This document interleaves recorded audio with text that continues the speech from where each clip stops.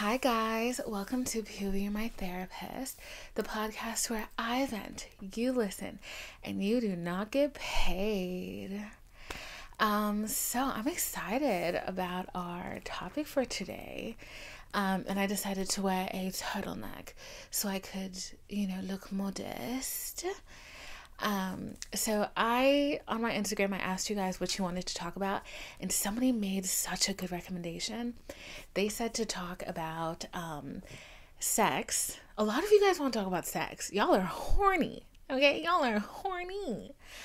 Um, so a lot of you guys wanted me to talk about sex, and but somebody really made a good recommendation. They said to talk about sex after you were raised with super religious um, slash ethnic parents, and boy, do I have some input on that. Okay. Um, and it's actually funny because I didn't realize that I scheduled a therapy session for myself on Valentine's Day. Yeah, you know, my subconscious mind really was looking out for me. She really had my best interest in mind because she was like, Bitch, you think you're fine now? You're not. I'm going to pick a random Monday two weeks from now and it's to be valentine's day and you're to have therapy and you're probably to cry which i did cry. Yes i did cry.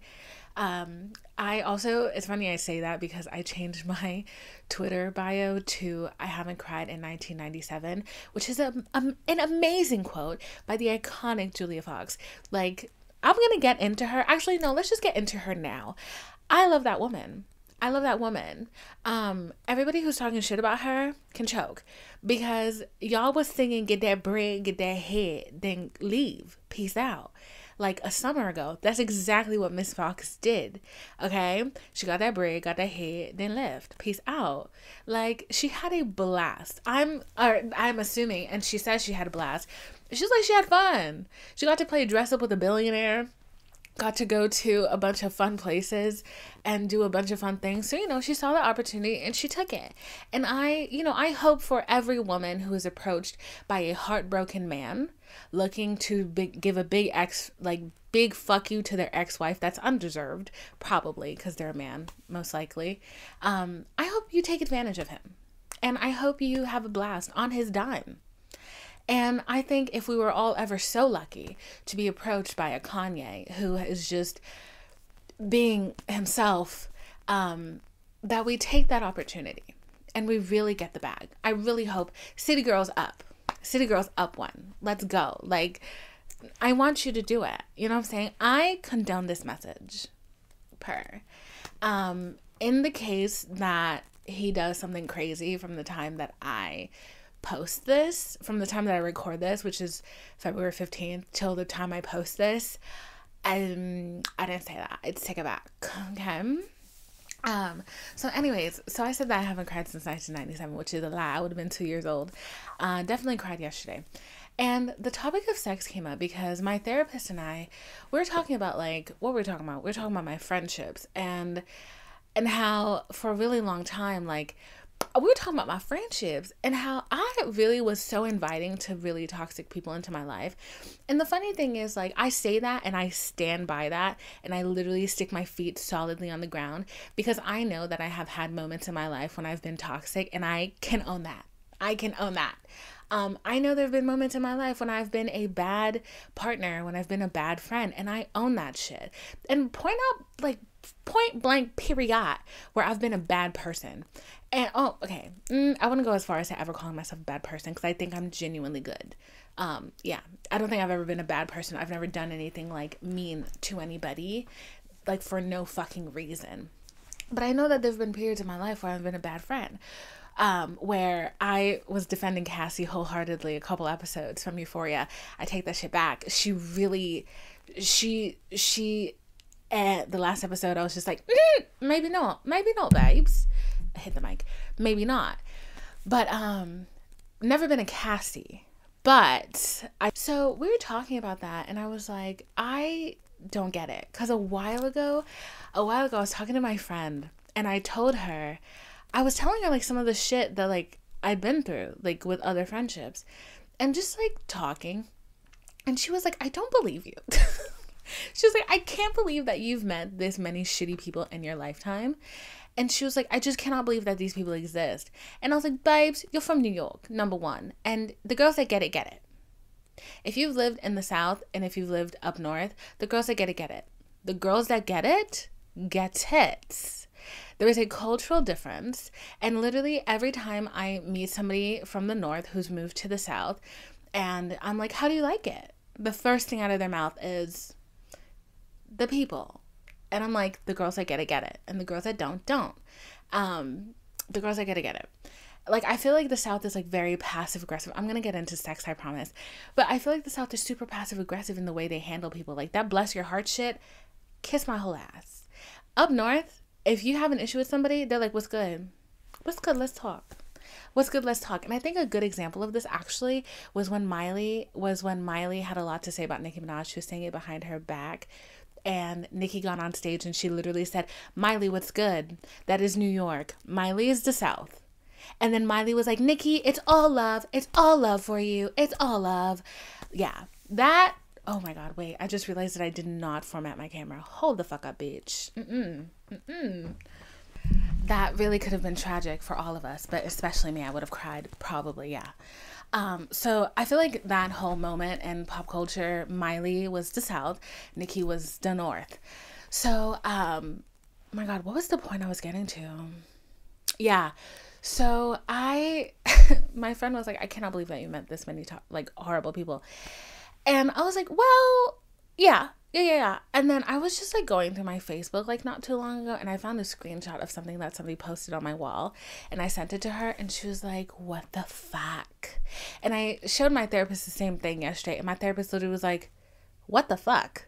And I was like, Yes, girl. Yes. Yes, girl.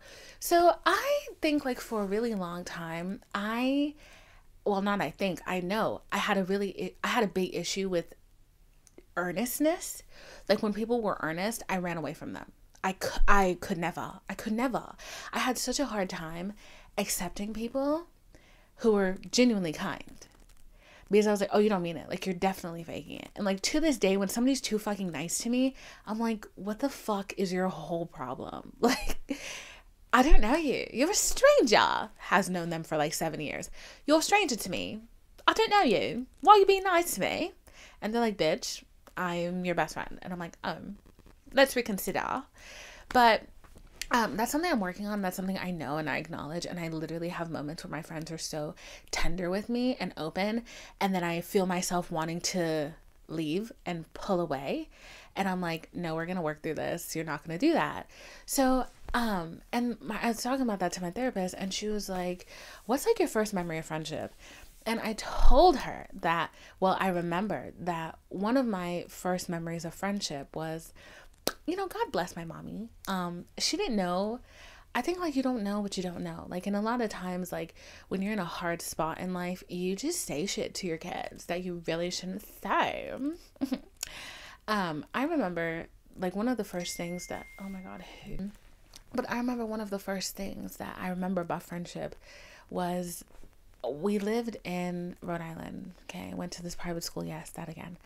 Um, I finally made a friend. I finally made a really good friend. I finally made a group of friends. And right when that happened, my mom was like, I want to move to Texas. I was heartbroken. I was obliterated. Weeping, weepy as hell, losing it as a wee child. And I guess to calm me down, she told me, she was like, they're not going to remember you. It's fine. That's my first memory of friendship. So ever since then, I was like, they're not gonna remember me. It's fine. And but like that, I think that was her trying to be tender with me. didn't work. Scarred me for the rest of my life, actually. Um, but when it came to boys, when it came to boys, she was not trying to be tender. Growing up, literally, I remember like having like a middle school crush. I remember not even my middle school crush. I'm so sorry. I remember my preschool crush. My preschool crush for a bitch with bad memory. I really remember a lot of shit. Okay, my preschool crush was a boy named Alan. Yeah, we was in Haiti. I went to a little parochial school in Haiti. I've been in and out parochial schools my whole life. I was in a little parochial school in Haiti and we had a little uniform. And I remember he was bald headed and he was light skinned I remember that. And I remember like having such a crush on him and being like, oh my God, I love Alan. Me and Alan are going to get married and we're going to have babies. I was like six, you guys. Oh, not even. I don't even think I was six. And then I remember that one of the first things that somebody told me was, you can't make yourself too available. Guys don't like women who are available. And I swear to God, I heard that when I was little and it still haunts me to this day. Every time I try to be honest and earnest, I'm like, you're being too available. You're being too open. They don't like that. Close it up a little bit. Close the box up. Um, and then my next memory after that was literally me telling my mom that I had this crush and her telling me, um, you know, if you have sex, you'll die. And I was like, what? I was like, what do you mean? I don't even know what that means. First of all, I'm a I'm a wee t- child. What is that? And she was like, if you have sex, you'll die. You know, I think the issue with like putting or trying, sorry, trying to put the fear of sex into your kid really early, really early. That's super early. I didn't know what that shit was. But now I'm a little curious. I'm a little curious. What are you talking about? You talking about my privates? What is what's that? Like for real. What's that? Like that's a great way to ensure your kid has issues with sex growing up. Um, oh, I should have warned that this was probably going to be a graphic episode. Not graphic in the way of, oh, I'm so sorry that happened to you. I mean, a couple of those stories were just like that, but um, but I I don't mean like there's any mention of like essay or anything like that. We're not talking about that, okay? Um, so yeah, so all throughout my youth, all throughout my youth, my mother tried to instill the fear of sex into me. I do not like being told what to do. Okay? So I was curious. I was like, I'm gonna figure this shit out on my own. And you know the funniest thing? I even though like I was super curious about sex, and like I experimented a lot. I didn't lose my virginity until I was in college. And I think I didn't do that because my mama was a scary beach, y'all. She was scary. She, um, she really put the fear of God in me. Put the fear of God in me. She used to tell me that like she used to try to like like I don't uh we're not gonna get into it. We're really not. She used to like try to put the fear of God in me regarding sex, masturbation, all that shit.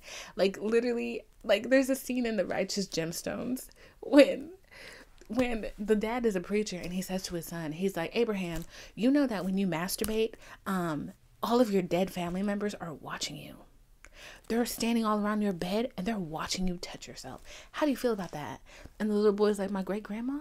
And he's like, Yeah, everybody who's ever died and is related to you is standing around your bed watching you masturbate. My mother told me the same thing. And I was like, I don't believe in ghosts. so good luck with it. Um, right.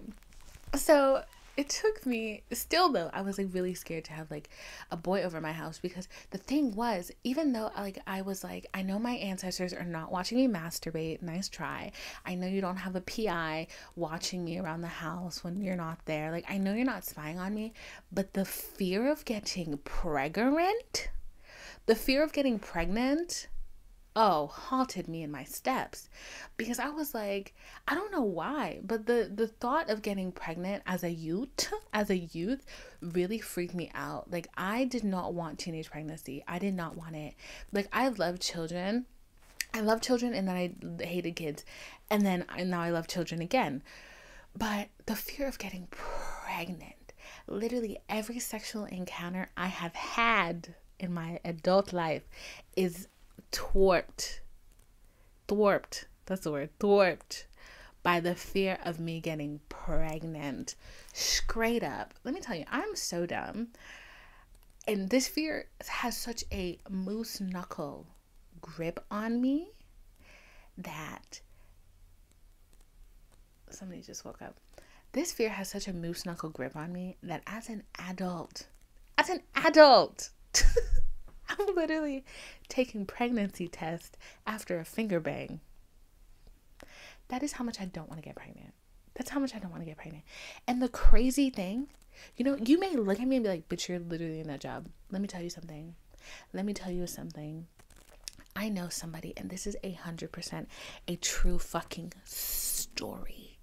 I'm gonna tell y'all a crazy ass story. I know somebody who was engaged to be married with a man. Okay. And this man literally would always tell her about how his his thing was thing. His thing was slanging. So she was like, okay, let me see the thing. Because they were engaged at this. And she wanted to take it slow and whatnot. So she was like, okay, let me see the thing. And he was like, no, I want to wait till we're married. I respect you as a woman. First red flag. First red flag. You got a big thing and you don't want to show it to me? Questionable. Mm. So he was like, no, I respect you as a woman. I want to wait until we're married. okay. She's not dumb. One day she was like, okay, you're here. Drop trial. let's go drop trial because if that thing is so thangin because he was telling her like oh yeah like i've hurt women before um not by my own accord but because you know i'm so well endowed so she was like all right then let me see it he was like i'm nervous i gained weight let's turn off the light man's had a micro pp man's had a micro pp and no shame to the micro PP community, but man's had a micro PP. And how do I like even say this without like being graphic? So she found out when they were about to get into it, and she was, he was like, he was like talking himself up, like he was doing dirt talk, like, oh yeah, like you like that, you like, and she was like, like what, like what, and then he burst, and she was like, you've yet to, uh, how do you say, penetrate me.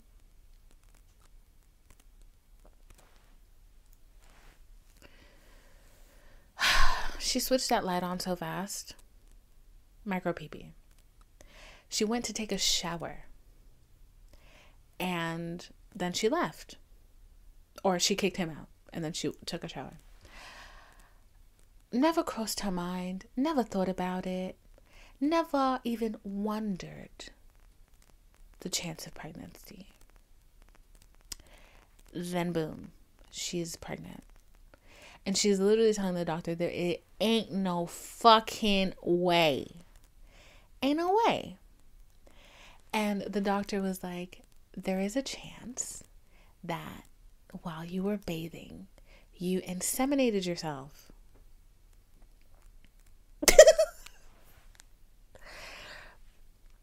Do you understand my fear now? Why, at my grown age, because if that baby want to be there, it gonna be there. It gonna find a way. This wasn't even the fastest swimmer. This was the fastest hopper. This was the fastest Usain Bolt. Okay? So if that that thing wants to happen, it's gonna happen. So at my grown ass age, I'm taking a pregnancy test after a finger bang. Yeah, yes I am. Um, even though even if I didn't see the wee wee, I don't care. Maybe he touched himself before. I don't know. That's not my business. Well, I mean, it is my business, but I don't know what he was doing. I wasn't looking, so you know, I have to make sure. Literally every like encounter I've had, I'm literally like, the the protection has to stay on I don't believe in having sex without protection. I just don't. Like, I don't care if I'm like with you. I don't give a shit. I don't care if I'm on birth control. I don't care if we're together. It's not happening because the chances of getting pregnant are just way too high. Like, a 1% chance of getting pregnant is just too much for me, you know? I'm just not ready. I'm not ready to be a mother. Um, but yeah, so uh this is such an awkward thing to talk about. And the funny thing is, like, I get on the phone with my girlfriends. I'd be like, girl, yeah, and then he did this, and then he did that, and then he did. And now I'm alone in a room, and I'm like, oh my God, I'm shy. The whore is a virgin. She's shy. She's so shy. Um, yeah. So I, the fear of getting pregnant has always haunted me. And I think it's also, I mean, it's mostly because I'm not kidding. My mother really was like, if you get pregnant, like your life is over. Like your life has ended. Like if you get pregnant, your life is over. You'll never make money. You'll be poor for the rest of your life. No man will ever want you because that man is going to leave you. Yeah. She's like, that man is to leave you. All that shit. Like literally putting the fear of, of all God, all the gods into me. And it worked. It worked because as much as I know, as smart of a person I am, I'm literally like, if I look at a man, I'll be pregnant at my grown age. So that shit, like, I feel like it kind of scars you. And, like, it takes the fun out of sex a lot of the times because, like, a part of my mind is always so conscious that I can just never fully let go and enjoy the moment because I'm literally thinking, oh my God, you have a twin brother. If I get pregnant right now, I'm having twins. You're probably gonna ghost me. How am I gonna find you if you if you ghost me and I'm pregnant? Um, could you afford an abortion? Because that's a concern. Yeah. Um, so and I'm just like, well, you know, thankfully the men that I've been screwing with are literally like, yeah, if you get pregnant, girl, we gonna go out of state. I don't care. The fuck? And I'm like, purr. Um, that's not anything to purr about. Woof. Um, but but yeah, so I'm just like that's a concern and then and then it's like, okay, like, you know, as I'm getting older, I'm like late 20s i'm like okay if i get pregnant this year would i keep it and i'm like oh maybe but then i'm like would this guy be a good dad would this person be a good father? Is this something is this somebody that i really want to be linked with to the for the rest of my life? The answer to all of that has been no. All of it has been a flat out no. No. No. Um so yeah. I remember so i I, I'm like trying to figure out how to like tell this how to like plan this podcast out in my head in like a linear way. But so that was my whole attitude on sex was that I was gonna get pregnant and die. Um, uh, yeah. So when I was when I went to college, however, when I went to college, I was like, you know how you get your refund check every semester or quarter? When I went to college and I got my refund check, bitch, I cashed that shit out. That was my emergency abortion fund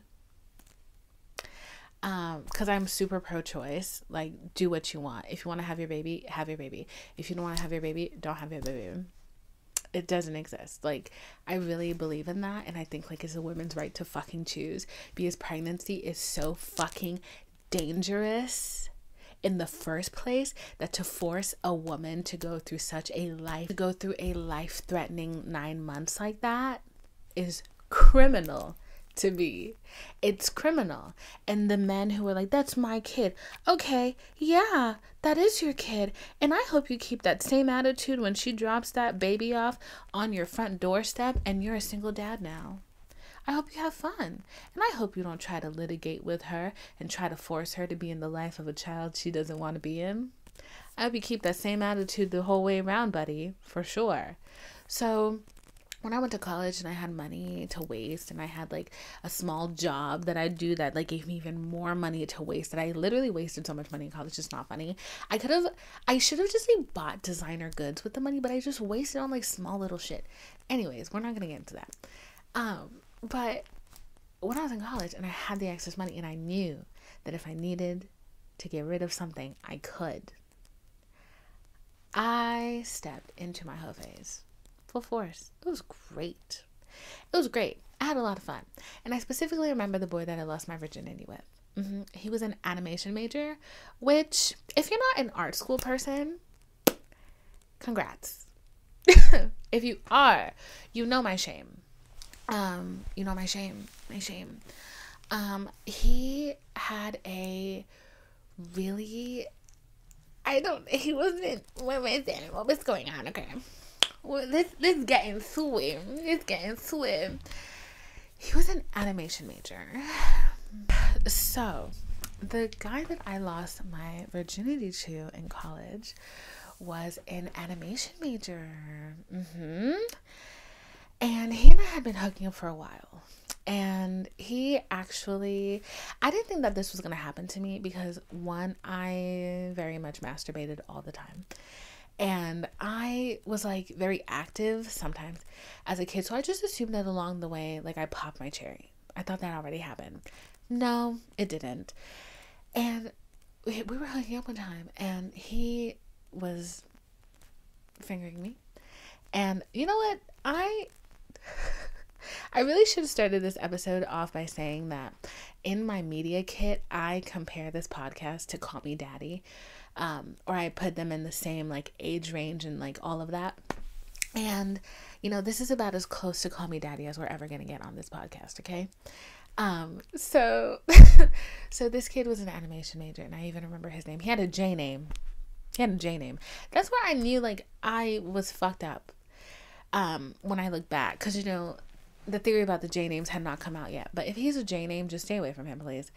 But he was an animation major, and in short, that means that man was a nerd a nerd.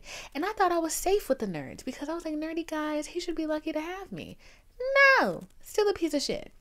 We were hooking up for a while and and he popped my cherry and like and through foreplay, that's a great way to say it. Through foreplay, and I was embarrassed because I didn't expect it to happen. And it really just fucking shocked me. And like, I always thought that it was going to be a little bit of blood. It was not. It was a lot. And I was like, did I get my periods? No, I didn't. But he was like a really good sport about it. So I will give him that. Yeah, one cookie. He was a really good sport about that. And then, um, and then like we started talking about the fact that I was a virgin. And he was like, well, like, what do you want to do about that? And I was like, I kind of just want to get rid of it. Regrets. I absolutely regret losing my virginity to this guy. And to be honest, I don't know if. Anyways, let's continue the story and I'll go back to this. I regret losing my virginity to this guy. Um, so he had a roommate, and I remember his roommate's name, and I love the roommate's name, and like I say it so openly, but I'm not going to because I'm not a psychopath. And um, his roommate knew that we were hooking up, and like his roommate I felt like there were so many times that his roommate just wanted to tell me something. But I never I never knew what it was and I can't even guess. But like I would go to his like dorm room and his roommate like while he was like doing something, getting something, his roommate would always be like trying to make small talk and like you can always tell when somebody's trying to tell you something more and his roommate just never spat it out and like even when i would run into his roommate like separately he just wouldn't he would like try to talk to me the conversation would never get far and then there would be an awkward silence. And i'm like waiting for him to say what he wants to say and he just never would. I feel like he was probably trying to be like this kid is a dickhead. Don't do it. Don't do it. Mm-hmm. probably knew all of my business too. And i i feel like i'm i think oh he definitely knew all of her business because it was a dorm. Like, if you have, I couldn't have a sleepover in my room with the girl that I was living with, so I probably went over there. I can't even remember, but I feel like that was a thing that happened.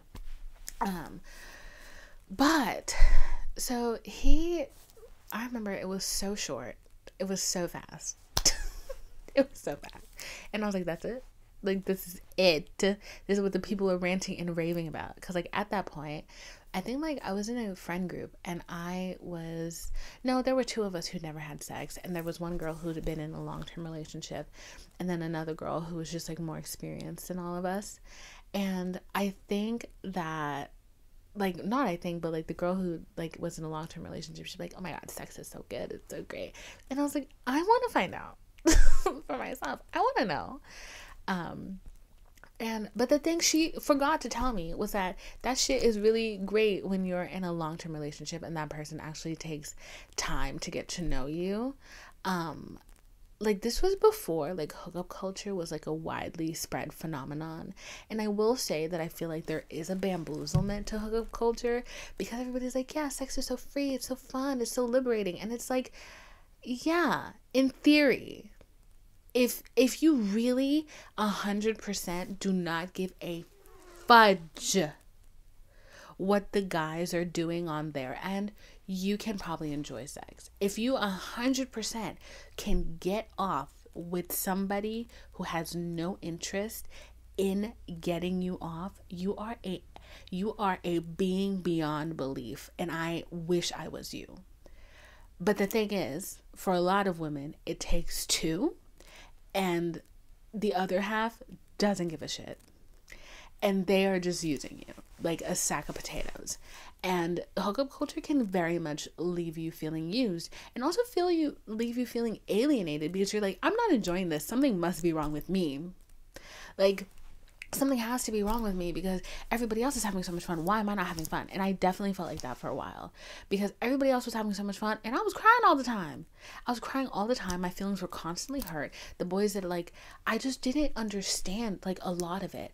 Like I didn't, you know, cuz like the thing that a lot of I feel like was in media and like a lot of what I consumed, what I understood was yeah, it's totally normal, which it is but I'm not saying it's a good thing that it's normal, is that it's totally normal to have sex with somebody before you're in a relationship or before you've even had the conversation about being in a relationship. And that fucked me up. That fucked me up so bad because all I wanted was a relationship. I wanted somebody that I could have sex with consistently all the freaking time. I wanted to consistently have somebody that I could connect with in that way they were not interested in that. They were interested in you when your turn came around in the rotation. That I did not take well at all. So, um, so I, yeah, I was not having a good. And the thing that, the thing that really like hit me like a rock to the face was the fact that the guy that I lost my virginity with on the night that I lost my virginity with, he literally, like, he fucked me and then literally, quite literally, flip me over on the bed. Literally, we were spooning. He came, he flipped me over and was like, all right, cool. I was like, hold on. what the fuck? I was like, what? Like, I literally had to tell him, no, I'm so sorry. That was like highly traumatic for me. You need to cuddle me right now. That was very jarring. I need you to provide some kind of aftercare. And he very reluctantly did it. And I was like, oh my God. And mind you, this relationship, quote unquote, had been going on for like three months at this point. So it quite literally was like we were friends, we were doing stuff together, we were going out, like we were having a blast. We had other friends, they didn't know we were hooking up, but we had other friends that we'd like hang out around. We were having a time, like we were having a time. And then we gradually started hooking up and hooking up and hooking up and working up to it. And then we had sex and he was like, all right, bye.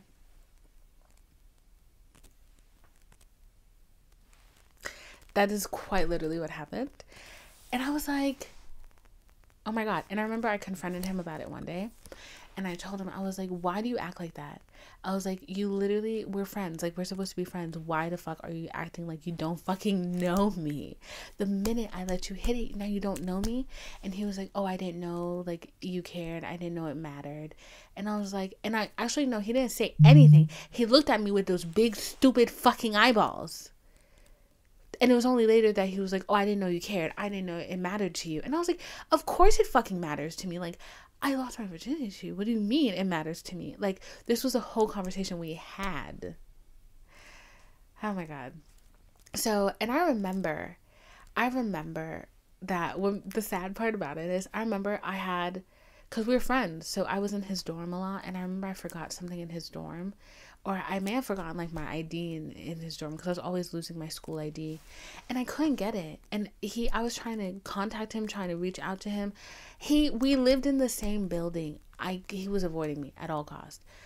Um and I went I needed my ID because I couldn't get into the building. I was having a hard time getting into the building. And at first I was like, maybe I'll just get a new ID, but I used up my my my free replacement and it was like 200 to get a new one. And I was like, no. I had to track down his roommate and I remember like I got a hold of his roommate and I was like, I don't know what I did, but I need to get my ID back. And he's not talking to me. And he was like, It's not your fault. he was like, It's really not your fault. Um, and it was really nice. So I will always appreciate him for really being a real one. And um, and he he I think like after one of his practices, he let me into the room to look for my ID and then he was like, It's not your fault. Don't feel bad. It's okay. And I was like, Thanks. and I was like, You're really nice. And that's how I lost my virginity. Per. And then I went on a spree. like, for real. Like, straight up, like, just doing a lot of dumb shit. I did a lot of dumb shit. Like, I'm not even gonna lie. Um, I definitely think that there was a time when, like, I. did I care about my safety? No.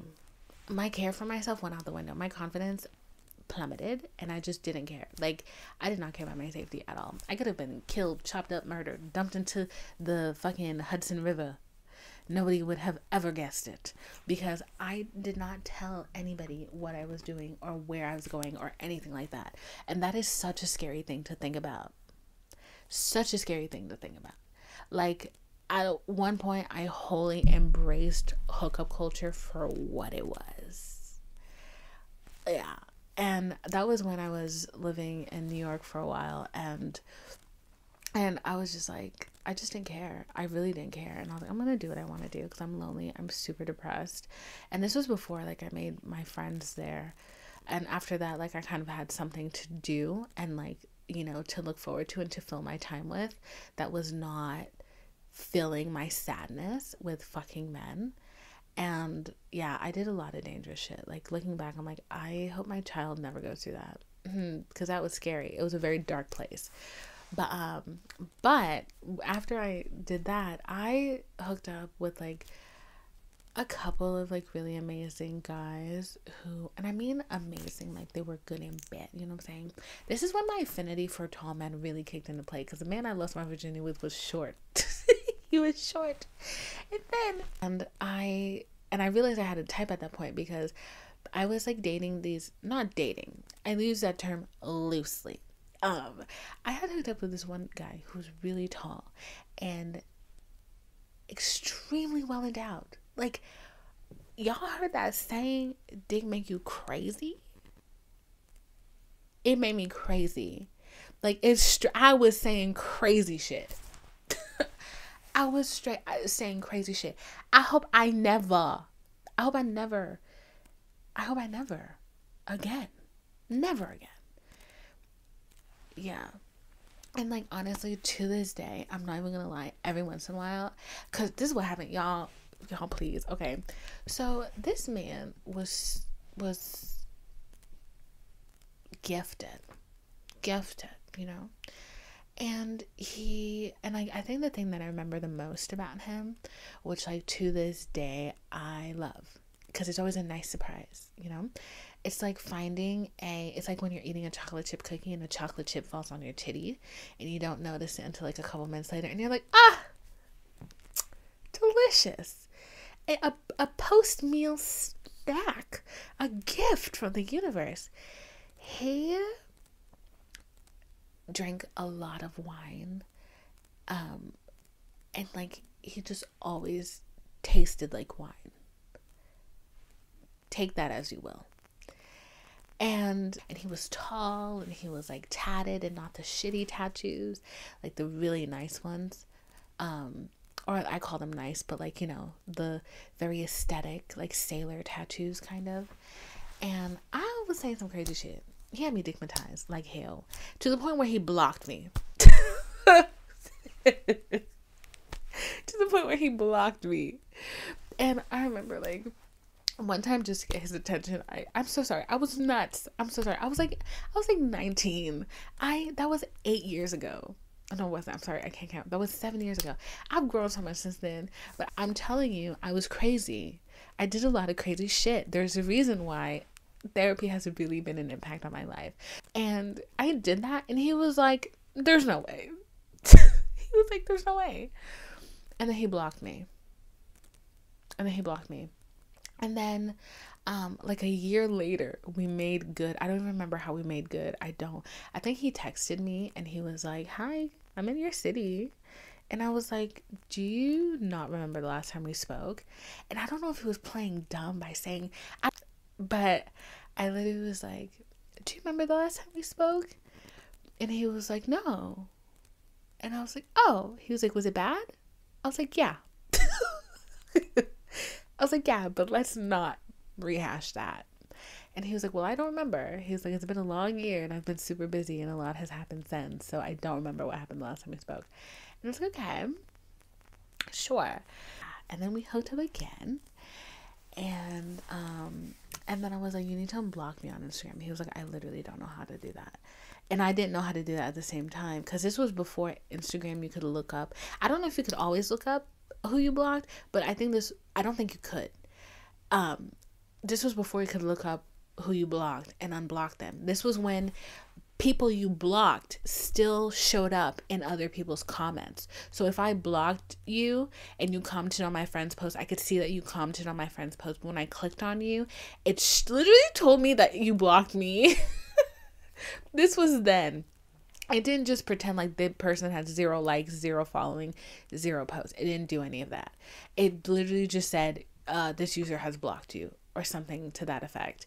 And so I was like, oh, well, I think you have to like find a post that I liked and or, or commented on. But we had like no mutual friends at the time. So he just never unblocked me. And, um, and then, uh, and then um because i was looking at his stuff through a fake account. Of course i was. Why would i not? Um and then he moved to a different city a couple weeks later. Or not even a couple weeks later. It was like two weeks later. And he had a whole girlfriend. Um and i remember like him telling me that like he was so conflicted in life. There was so much going on. He was so conflicted. And I was like, yeah, no wonder you were fucking conflicted. You have a whole woman that you are in a relationship with. Like, and they don't, they look very cozy. I was like, this is not, like, this was an Instagram reveal. So they'd been together for a while. And I was like, oh, okay. And that's when I was like, maybe I don't like hookup culture. Maybe I actually hate this. Um, yeah. So, but you know what's funny? A couple months ago, because I, you know, I'd be shitting. I'd be sitting down on the toilet and I'm like, I'm gonna not mind my business and I'm gonna look up people that I used to mess with. And I looked him up to see if he unblocked me. He unblocked me. He unblocked me and I was like, should I follow him again? I was like, no, let's not do that. We're not gonna do that. So I did it. Um follow him again, but I see that he has a different, very lovely girlfriend, and I can only hope that he is not fooling around on the side because she seems like a very lovely woman. Um, but yeah. Um, yeah, so that that really made me like solidify in that I love tall men. And um yeah, I don't know what it was about him, but like he just fit everything that was my type and I was like, "Oh, you're perfect. You're literally perfect." And literally every guy after that has been like a mixture of him and the old man who shall not be talked about once again. And that's pretty much what my type has been since. And um but this guy, this animation guy was not my type. And I knew he wasn't my type. So when he told me he liked me, I was like that's your problem. And it's really funny because I told this story on my TikTok live the other day and I got really graphic with it and I told that I told the girls that he had a piercing, a very special piercing that only a man can get. And half of the girlies in the comments did not know what the piercing was. So the joy of my life during that inst- uh, during that TikTok live was what oh not the burp sorry the joy of my life during that TikTok live was watching the girls leave the live was watching the girls leave the live because they went to Google it come back and scream at me because they found out what it was and were thoroughly disturbed. And they were like, How could you? And I was like, I could not. That's why that basically ended. And I remember I was so confused that, like, when, because it wasn't long after, like, we were hooking up, we were like hanging out, and then I was like, okay, maybe I do have feelings for him. Let's give it a shot. That wasn't long in between. And what was really a short amount of time in between was me telling him that thing that foreign object on your body hurts and you need to get rid of it. And he got rid of it. And that's when I was like, okay, I think I can tell you that I have feelings for you. Um, because you know that piercing is gonna close up and you're you're it's gonna close up within like two days. So that's a bit of a sacrifice. So I was like, maybe I can sacrifice my pride and tell you how I feel. No. This bitch, no. And even to this day, he keeps following me on social media and I keep removing him. And he keeps following me on other forms of social media. And I'm just like, no. And like, he followed me. He's married with a wife, followed me from their joint account. And I was like, because this is the thing, that is a freaky man. I was like, no. It was no 15 minutes ago, and it's no now. Like, this is not something I want to explore. I don't want to get to know you. And like sometimes like people just follow you and it's like whatever, but it's like the consistency, the constant following, like and I was like, why are you not what hint are you not getting? Like focus on your family. Quite literally. Um but yeah, so that was the thing that happened. And I think the thing that like hurts the most about most of just existing and being a woman who has sex with men is the fact that when you do find a guy that's really giving and caring and knows how to treat you as a person, um, even though that doesn't mean necessarily, it's very heartbreaking when all you want is love, and then there's a guy who is able to mimic love so well for the time that you are hooking up. Um, but the minute you know you leave, it's like you're out of sight, out of mind and that's always something that I've struggled with and I think that's definitely why like I cannot I cannot engage with hookup culture is because it's not out of sight, out of mind. The moment I'm not looking at you, I'm thinking about you. And it's like I go into a lot of these things like with my heart on my sleeve and it's like, babe, don't do that. Like it's very few people. This is the thing. For me to like be able to have sex with somebody and not feel emotionally connected to them, I have to not be I can't stand them. I can't stand them. Um, I do, if there's, there's somebody I don't like, not really. Like they're a man that I've just like looked down upon and like you gross little thing. I'm gonna fuck you. Which is why I don't do it because that's messed up on its own. Because it's like, like my body is a temple and it's sacred and I love myself so much. So why am I giving something I love so much to somebody that I despise? And it's like for what? Like power, for control, like it's not it's not like it's not like liberating. And it's like you know you see like these shows and like movies where like women have an orgasm and it's like oh the flowers are bursting out of my head. It's like no this is very dark energy. And it's like i don't like that. That's one thing i will say i don't like about my little scorpio self is that proponent. And but you know i know myself well enough and i have enough agency over myself that i'm like do not engage. Don't engage. Don't entertain this, don't play with this. You should not be fucking somebody you don't like because you can. Um, I feel like that's like very kind of like a dark soul tie, and it's like no. And I think like a lot of times, like women end up getting soul ties with men. I definitely believe in soul ties. Mm, I've said it before, and I will say it again. Women definitely give soul ties to men because men are fucking you like that. Like a lot of them are. Like, I've hooked up with guys and I'm like, bro, you hate me. You hate me. Like, there's one guy, like, he keeps doing things, like, trying to get my attention. And I'm like, the way you treat me, you fucking despise me. Why do you want me? Like, you don't want me. Like, that's the thing. Let me rephrase that. You don't want me. You want to say you've had me that you've defiled me, that you've dirtied me essentially. And I think that's a mindset that, like, given the right circumstance, I can definitely tap into, but I don't want to tap into it because I know better. Because I'm, I don't, I don't like that energy. That's a bad energy. And I think a lot of guys don't give a fuck. They don't they don't. Either they fucking mindlessly or they fucking with bad intention and like they're trying to conquer you. Like right. So a lot of men like definitely like when they're they, it feels like they just want to conquer you. Like they really do. And it's not and it, it's not like a let me take over and take care way. It's like a I want to pulverize you way.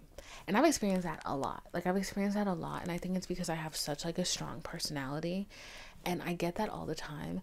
Um, and I think like for me as well, like I have I teeter between my acceptance of men as people as a concept and between my absolute disdain of them.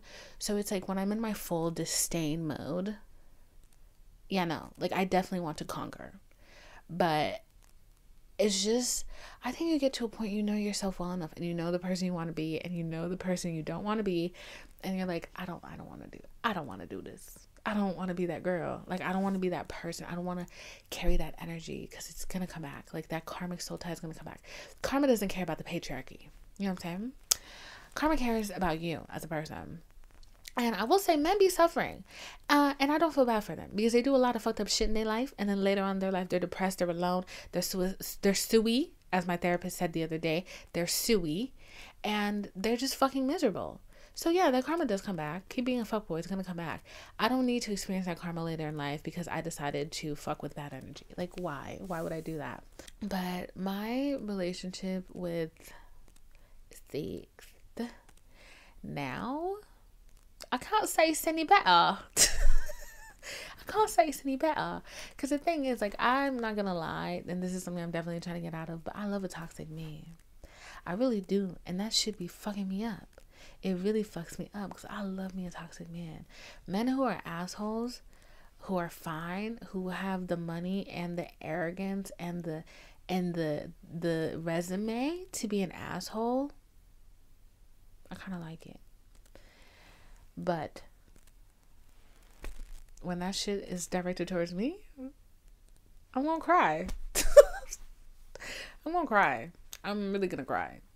So I've been working on that. I'm working on myself. We still healing. We still fixing ourselves. We're still trying to get right with God in the universe. Um, and the worst part is a lot of those guys are all for me anyways i can't speak for anybody else a lot of those guys who just have like an insane amount of confidence and walk with a big stick they have the best stick. And that makes it harder. That just makes 10 makes it 10 times harder.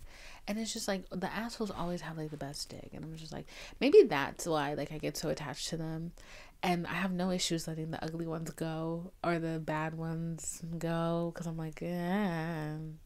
Mm. Um, but until I get that under control, not even until I get it under control, I just think I'm not built for hookups. I just don't think I'm a girl who's built for that. Like, I really don't. Like, I think I am a girl who needs love. I am. I just am. I'm a girl who needs affection. I'm a girl who needs care. I'm a girl who needs a man who is going to just love me and like literally love me like I love my dog. Like kisses all day, romantic gestures all day, like emotional vulnerability all day, kindness all day, humor all day like who's strong and like and is in his wits who walk with a big stick. Because you know i walk with a big stick sometimes. I walk with a big stick. And and i just want somebody who matches that energy. Um that was the end of the podcast. I really i was trying not to get full graphic because I I'm telling you i really can.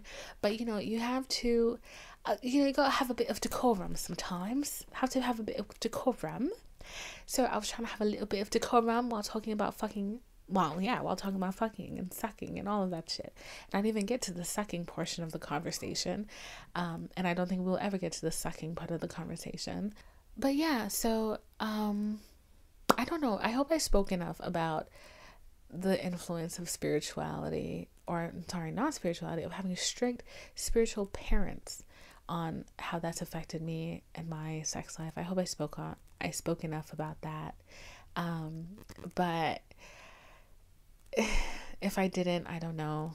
We, we might rehash this later. We might come back to this and talk about this a little bit later. Um, but yeah, uh, if you like this podcast, share it with a friend. Share it with your. Oh, maybe don't share this episode with your mom or your dad. Share it with your boyfriend if he needs a hint.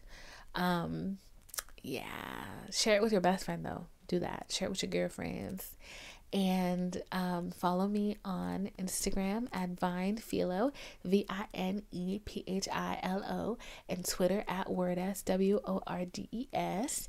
And if you're listening on Apple Podcasts, leave a rating and and a review.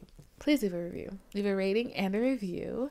Um, and if you're following and if you're listening on Spotify, follow, uh, hit that notification bell and leave a rating. Yes. Okay.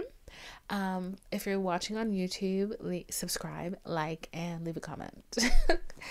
and um, yeah, I'm really happy to be back. I I think that break was really good for me, and I really enjoyed catching up with you guys this last week. Um, I had a lot of fun and I had a lot of good times. And I can already tell you that at some point in the near future, we will be talking about scammers because I just need to talk about Anna Delvey, the Tinder swindler. And I just read a story this morning about a man who conned $640 million out of movie people in LA. I just need to talk about this, okay? So, and at some point in the future, once I have done my research, once I got everything wrapped up, we're gonna be talking about it, okay? We really will. I need to get some things off my chest, but um, but yeah, I love you. Have a nice week. Have a blessed week. I hope your week is easy and fun and fluid. I hope nobody pisses you off. I hope everybody is kind to you. I hope you have the week you freaking deserve. I love you. Goodbye. Mwah.